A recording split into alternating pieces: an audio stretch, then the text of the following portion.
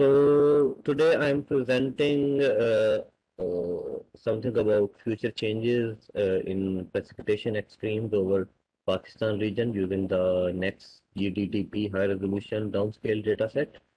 Uh, so let's start with uh, some of the background. Uh, this is just a map to show the mean annual rainfall of Pakistan um, from 1981 to 2010. And as you can see, there is a large uh, regional diversity in the rainfall uh, amount across the country. Uh, in, the, in, the, southern parts, uh, some in some regions there are there is rainfall less than 100 millimeters, but uh, in the north, uh, most of the rainfall is located here, and the precipitation intensity is maximum in in this region. Uh, major weather systems are monsoon and uh, winter westerlies. Uh, during monsoon season, most of the uh, rainfall is received uh, around 65% of the total annual rainfall.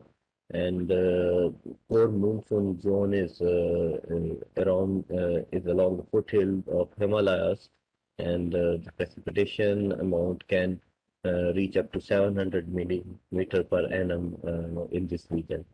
Similarly, winter precipitation is mostly uh, due to westerly systems, which are um, mostly which bring rainfall in in the western and northern parts of the country, and uh, around 25% of the annual rainfall is received uh, during this season. Uh, the data set. Chad, I think your slide is reading. Uh, okay. You can see just the title first slide. So please check your slide. Can you see now? Yeah, I can see, but the okay. oh yeah, yeah, slide okay. is yeah. Yeah. Uh, so uh, the data set which uh, we have used is uh, global daily downscale climate projections data set uh, the, the resolution of this uh, fine resolution data is 25 kilometer and it, it is available at daily time frequency and there are three parameters uh, precipitation and temperatures available. Um, around 22 CMIP5 GCMs are part of this uh, data set and uh, baseline data for the generation of this data is GMFD global meteorological forecasting data set and uh, historical uh, years are from 1950 to 2005 and for two scenarios RCP 4.5 and RCP 8.5 the daily data is available from 2006 to 2099 Uh, the technique uh, which is uh, applied for the downscaling of this dataset is uh, bias correction and spatial downscaling. Uh, this was uh, originally developed for seasonal forecasting applications.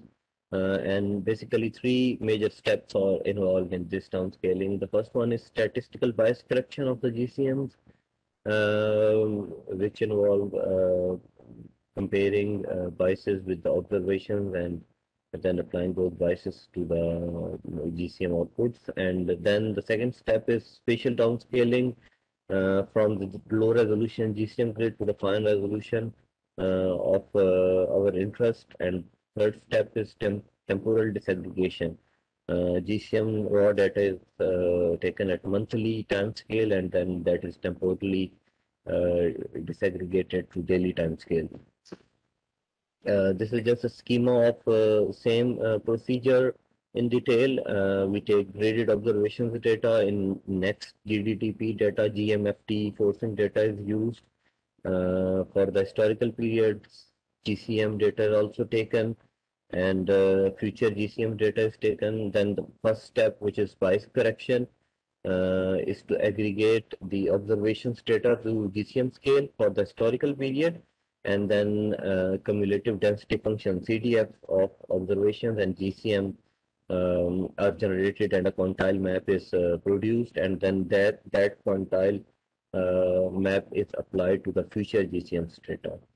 Uh, then the next comes spatial downscaling which uh, involves calculating the change factors uh, using the bias corrected uh, historical and future GCMs and then disaggregating to to the to the target grid resolution is the next step. And the last step is the temporal disaggregation in which, for example, we take monthly data set and then we disaggregate to daily time series.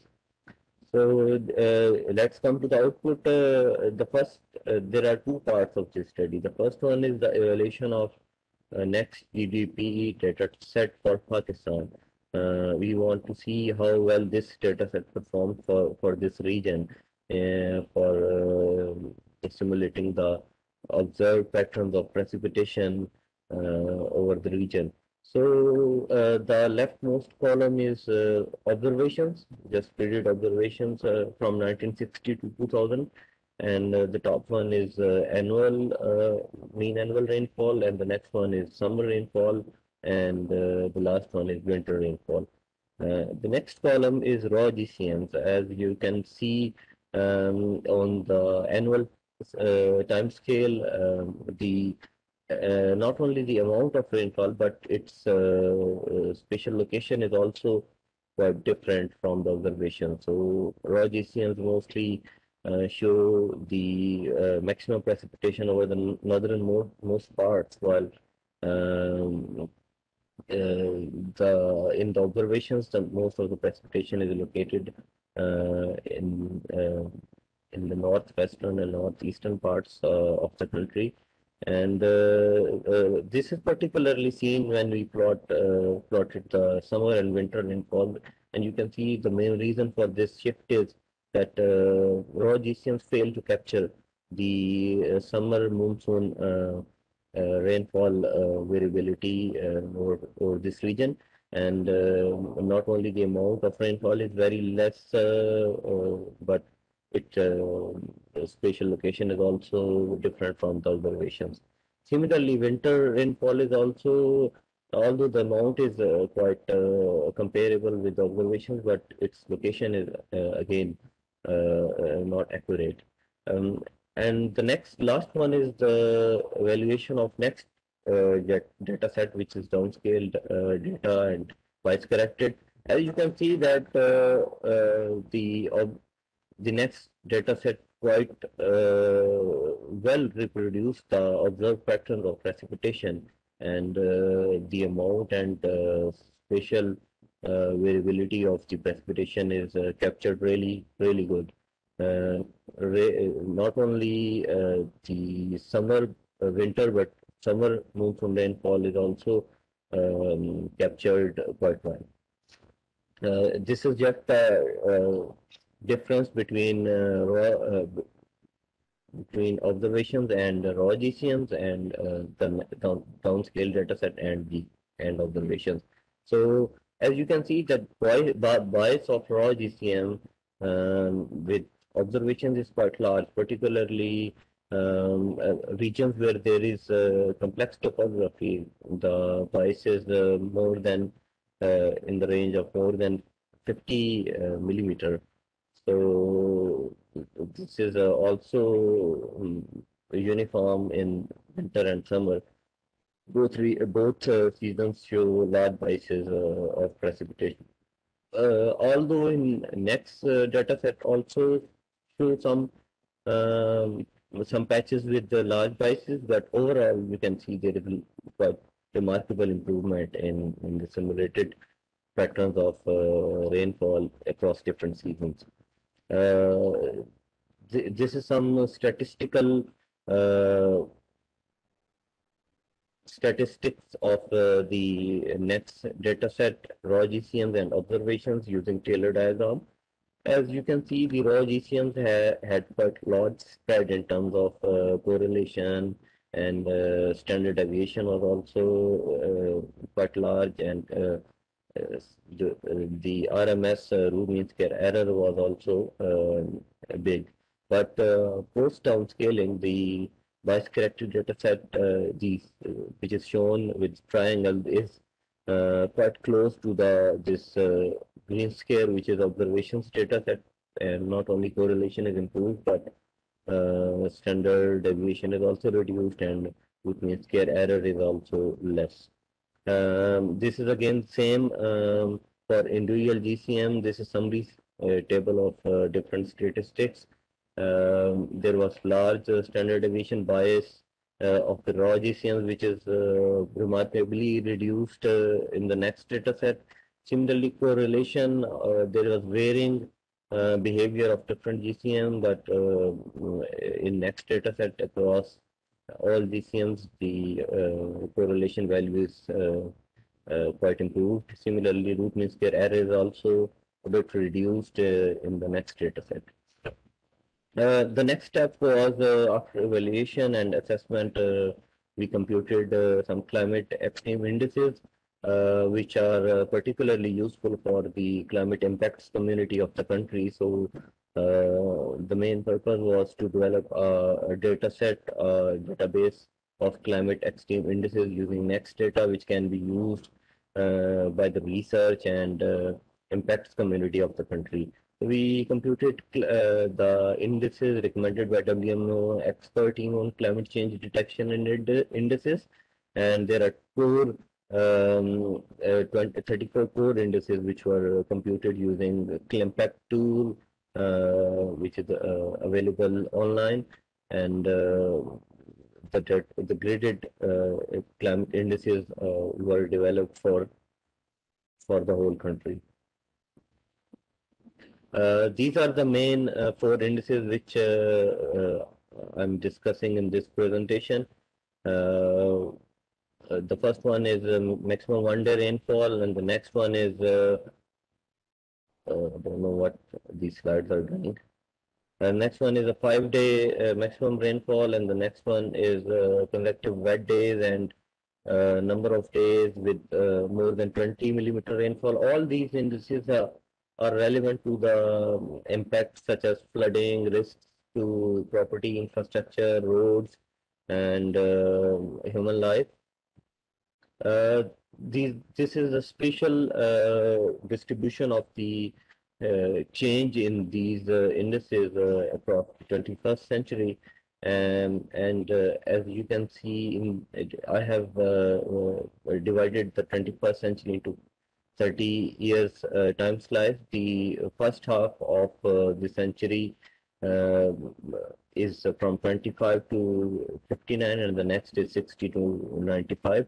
As you can see, the this region, which is the core monsoon region, uh, where most of the rainfall, uh, annual and uh, summer particularly rainfall was located, is showing an increase in change in maximum one day rainfall. So the extreme rainfall events, uh, the amount of rainfall in such extreme events may increase uh, in the range of 150 millimeters. So that's very alarming. Uh, similarly, five days rainfall also show increasing behavior.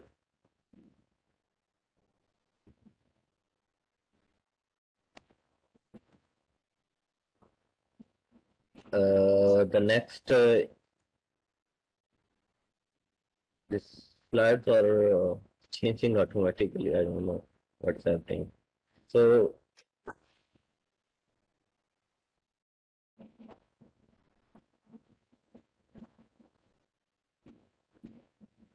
just a moment. Uh, similarly, the days uh, with more than 30 millimeter precipitation are uh, also changing and uh, uh, the amount of rainfall in such days is also increasing during the 21st century.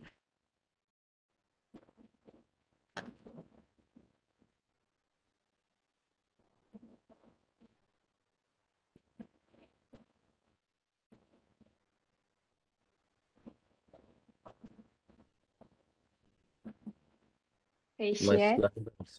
Yeah, I, I have issue with the slide. I think you can have a time. Uh, Yeah,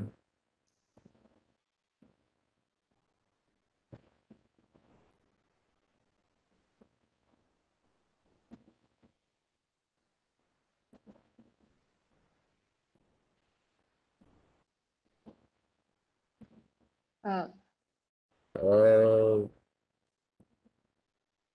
Okay, so Yeah. uh, yeah, this this is just a, uh, a return period of these extreme events uh, at different uh, uh, probabilities. So uh, we have computed for five years interval, 10 years, 25, 50, 100 years uh, for different stations. Uh, I mean, this information is available for different stations of the country and if impacts community or some researcher need this data set, then it can be used uh, this information is at very fine resolution, so that's quite useful for the impacts community. Uh, as we move towards uh, uh low prob probability events, we can see that the amount of precipitation extremes may uh, go up. So although there are very uh, less chances, but still different probability intervals show different amount of precipitation, which can go uh, quite large uh, in, in the order of 200 millimeters. Uh, let's come to the summary. as I said, this data set can successfully reproduce the climatological observed patterns of precipitation over Pakistan and uh, the correlation is quite uh, good with the observed data set and standard deviation bias uh, was reduced uh, as compared to raw GCMs and uh, root mean square error was also reduced uh, for um, almost all models as compared to the raw GCM. So particularly, we saw quite good improvement in the complex topographic regions, which are also um, uh, very, uh, which have highly variable precipitation amount and uh, this uh, high resolution data set is particularly useful for uh, impact studies in those regions. Um, improvement of in the spatial patterns of extremes are uh, closely associated with the level of spatial detail uh, and that is associated with the downscaling methodology which is applied in, in this data set. Uh, similarly, we saw that future changes show that there are long-term increasing trends of uh, climate change indices. Uh, maximum one-day rainfall and five-day rainfall are uh, increasing significantly across the country, particularly in the core monsoon region. And these precipitation extremes uh, Uh, can have a significant uh, impacts uh, in terms of flooding and damages to human life and infrastructure. Uh, although the southern parts of the country show a very less increase. Thanks very much.